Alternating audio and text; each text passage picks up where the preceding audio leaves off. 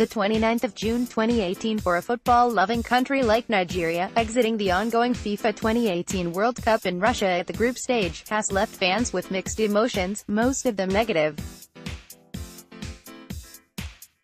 The disappointment was palpable and could be felt all over the country as the Eagles had come within a few minutes to qualifying for the round of 16, an achievement the nation had attained on three previous occasions and was hoping to surpass this time.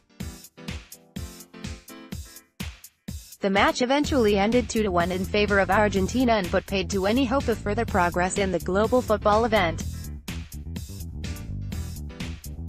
It was a big blow to the psyche of Nigerians and indeed millions of other soccer fans on the continent as Nigeria, perhaps more than the other four African participants at the Mundial, carried the best hope of a good showing.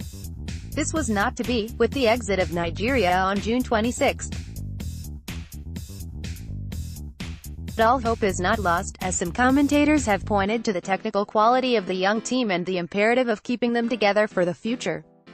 They also argued that the coach of the team, Gernot Rohr, should be retained for continuity and consolidation of what he has built so far.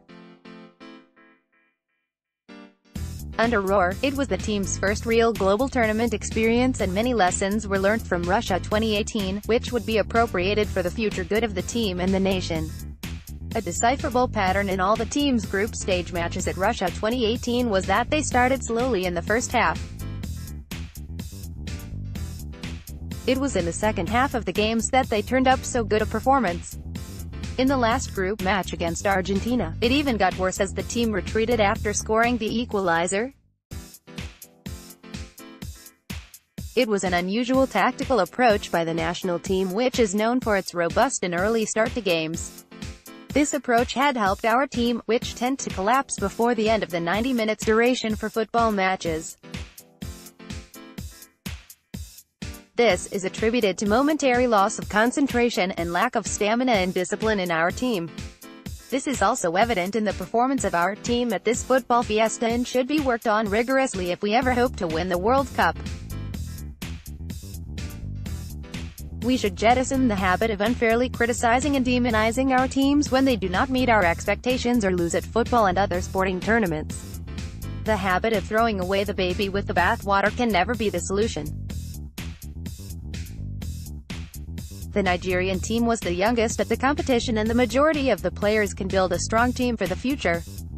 For continuity, team chemistry and bonding are essential characteristics of great teams. There is need to fortify the areas of weaknesses in the team. This includes the defense, midfield and attacking positions. Some of our players are old and have lost form. The team should be reinvigorated with young and talented players from the local league whenever they are discovered.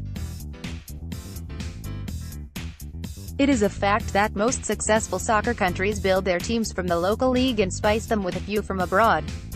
We need to imbibe the lessons that have served other past winners well and find ways of reflecting them in our football. Football is like the modern warfare, every country goes into it with its best. The next World Cup scheduled for Qatar in 2022 is only four years away. Its preparations should start with the next edition of the African Cup of Nations, AFCON. All efforts must be deployed to ensure that we qualify for the Continental Soccer Fiesta. Previous article Morocco appeals to FIFA over injustice.